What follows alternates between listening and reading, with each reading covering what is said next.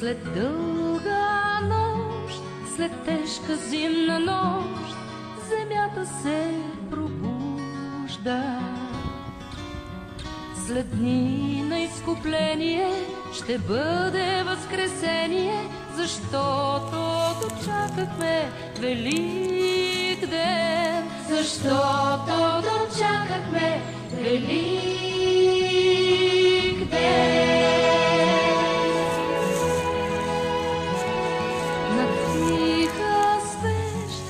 днес пламъкът горещ, ни вдъхва лъч надежда.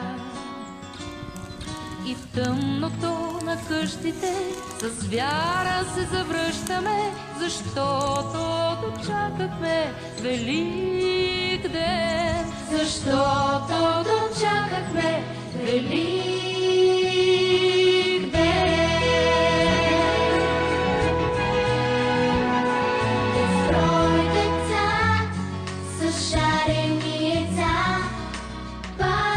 пак ще се